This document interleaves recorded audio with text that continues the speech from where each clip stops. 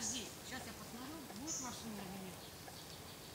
А, ну можно в принципе, но тогда перспектива... А, подожди. А ну давай.